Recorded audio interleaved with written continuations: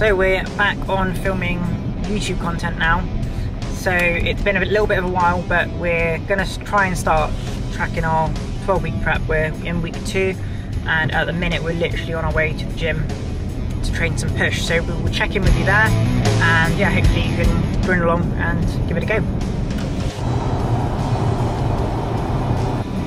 So if you follow me on Instagram or any of my other social platforms, you'll see that I retired from competing back in, well, last year, October.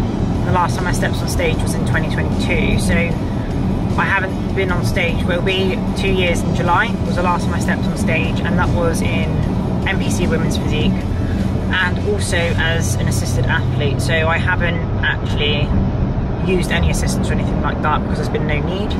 But kind of where my head is at the minute, we're gonna go through this 12 week prep and obviously come back and review and see where we are. So this will be like a mini series and potentially my thoughts are to step back on stage but as a natural athlete. So it'd just be good to see the difference between heading to stage as an assisted athlete versus natural athlete and actually show that it is a possibility for you to go quite far as a natural athlete. Um, and I'm very much aware that the period of time you need to be a natural athlete is is over X amount of time. So it's just kind of getting, yeah, just seeing where my head sits at the minute because I love bodybuilding, I love the stage, but I'm not in a position where I really want to go back to being an assistant athlete. So yeah, it's uh, lots going on, but we'll see where we end up at the end of this 12 weeks.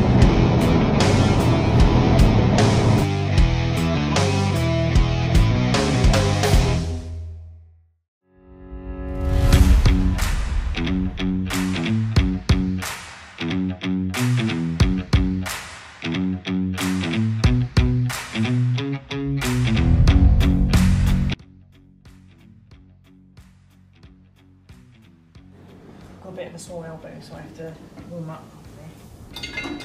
I always like doing the pec deck or a pack thing first,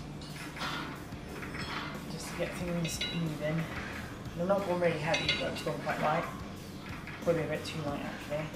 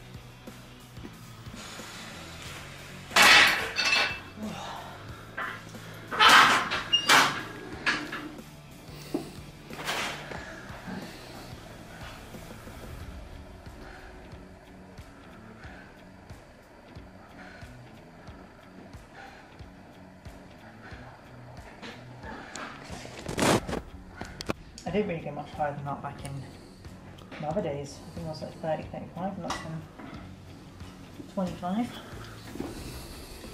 still got the, the ticking power.